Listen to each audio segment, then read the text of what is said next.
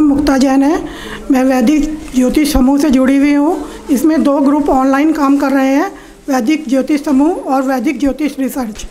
मैंने शास्त्री की डिग्री ली हुई है और डॉक्टरेट के लिए अपनी थीसिस जमा कर दी है।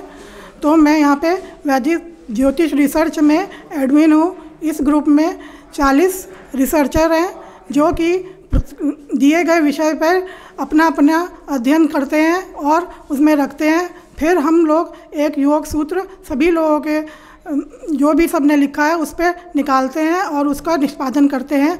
प्रधान संचालक लखन माननीय लखन दैया जी इसका निष्पादन करते हैं। कार्यक्रम का आज हमारा ये सम्मेलन इसी ये जो योग सूत्र हैं, सौ योग सूत्र हैं, ये सौ योग सूत्र बन गए, जिसकी किताब का विमोचन हुआ। इन्हें एक साथ, एक किताब में रखा गया, जिसका विमोचन माननीय डॉक्टर हरीश रावत जी द्वारा किया गया और रिसर्चर्स ने चार साल मेहनत करके जो भी इन सूत्रों को लिखा, उनका सम्मान इस सम्मेलन में किया गया।